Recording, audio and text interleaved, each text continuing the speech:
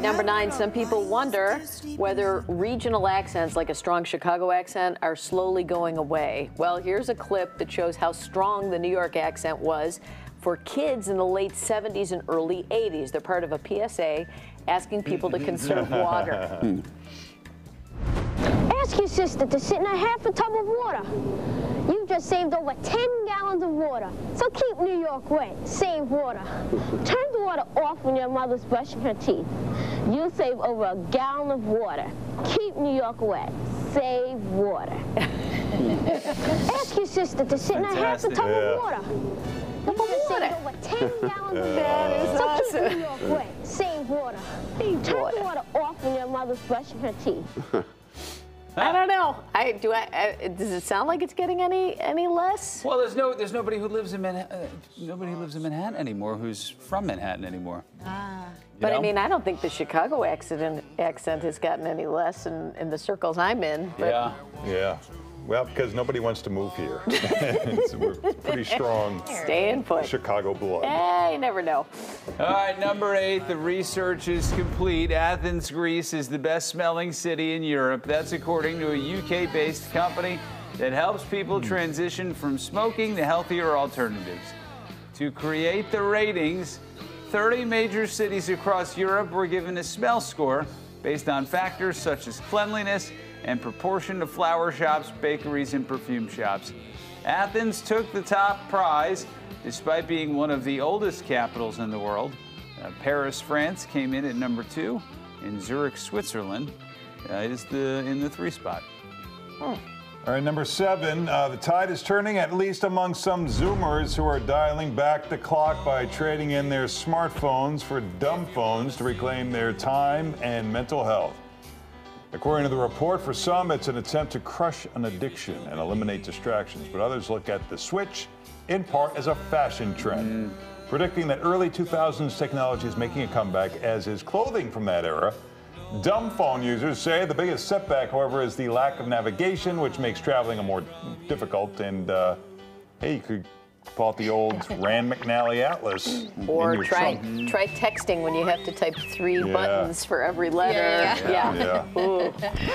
Uh, all right, number six, you've probably heard of intermittent fasting, but you may not be aware of the potential setbacks it causes. 20,000 adults were surveyed and researched, uh, and sorry, research showed that people who ate within a window of eight hours a day or less may double their risk of death from heart and vascular disease compared to those who spread their meals out.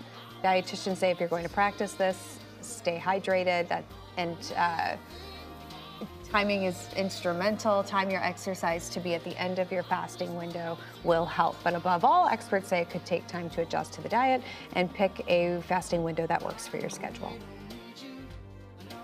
A lot of right. hydration stories this morning. Keep Yeah. jamming the water down our throats. Yeah. All right, number five, falling asleep with the TV on. People often do it to distract their mind and ease into a relaxed state before hitting the hay, but does it Hitting hamper the hay. hitting the hay? See, Hey, see? that's what they produ- That's what they wrote there in the script. See, uh, but does it hamper the quality of your sleep? Well, that blue light that you know the TV screens give off can actually suppress your body's release of melatonin. So if you do watch something before bed, experts suggest watching on a TV that's farther away from you and setting a timer to ensure the TV is off when you finally fall asleep. Well, that's interesting. I didn't know the TVs had timers. They hmm. do. Yeah.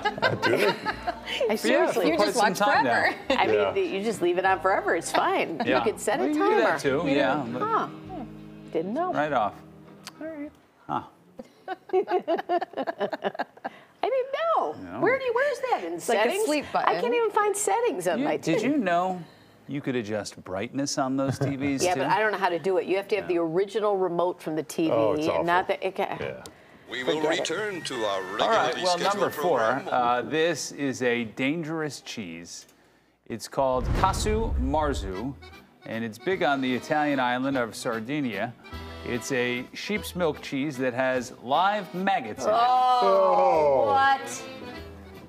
All right, bear with me. It starts as pecorino, but the cheesemaker then lets it go far past the typical fermentation stage to the point that the larvae of cheese flies Oh, infest the cheese. This is done intentionally.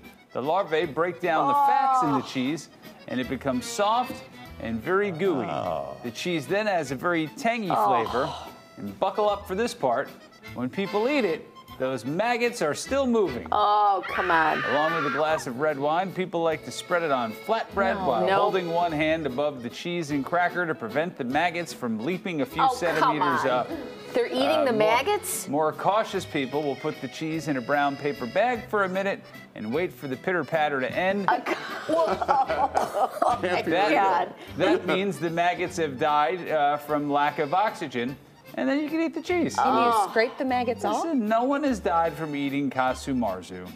Oh. But they're eating the maggots? I. It would appear that way, yes. How badly do you want a piece of cheese? Yeah. I mean, really. There's no other cheese that'll do. I'll take the maggot cheese.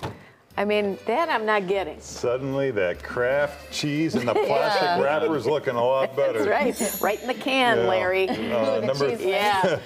Number three, exercise is important, but for a reason you may not realize. According to a new study, people who exercise more stress less, and research shows less stress has a positive effect on heart health. Are you serious? Water. The study analyzed medical Yeah, I mean- records from 50,000 people over an average uh, follow-up of 10 years. Those who worked out had a 23% lower risk of developing cardiovascular disease compared to those who didn't exercise.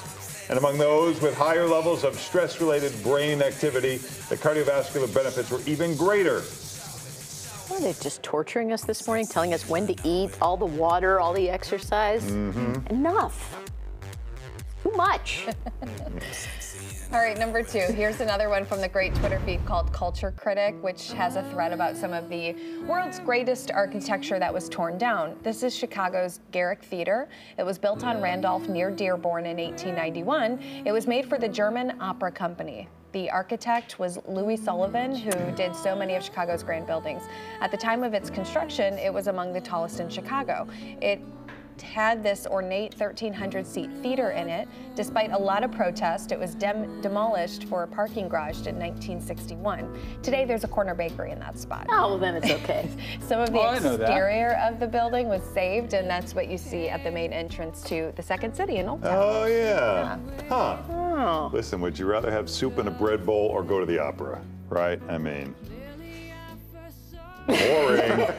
I don't get it. The- Uh, but I, my, there's a lot that's lost on me. Yeah. So don't, eh, don't measure. I'm sure it's wonderful. I just. Uh, yeah. You're going not- French onion in a bread I'm bowl. French onion in a bread bowl, but that's just me. I, I'm, I'm not that cool. All right, number one. Here's another one of those 70s variety TV specials that doesn't make much sense. It's called The Carpenters Space Encounters. And along with pop stars Richard and Karen Carpenter, people like Suzanne Somers and John Davidson just show up. We can only assume the network was jumping on the Star Wars craze, which would explain the space robots. So here you go.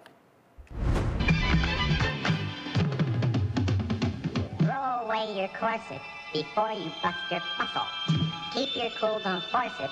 It's time to do the hustle. Oh no. What? It's getting awesome now? Is that what you were going to No, say? No, I'm just when you have, I mean, two great musicians like Richard and Karen Carpenter, and you're having them dance when it's not their forte.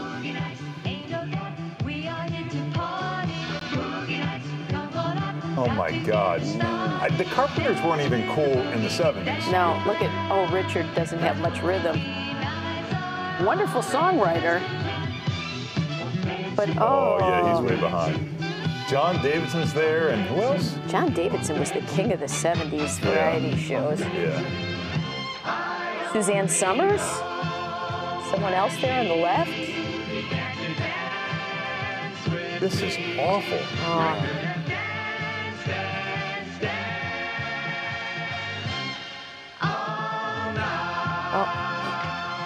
This is pretty much the worst video ever made. What is going on? Boy, that had to be a really big check. That's a nine at nine. Yeah.